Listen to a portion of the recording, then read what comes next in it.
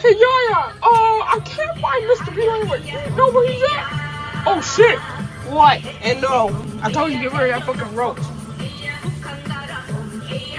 Why are you looking at me like that? Oh, God, nothing, Yaya. You just look so pretty. You got Mr. Beetle's on your head. What? Oh, my God. Hold on. Look, look, he just jumped off. Oh, no, the fucking roach is. The fucking roach is flying. Roach...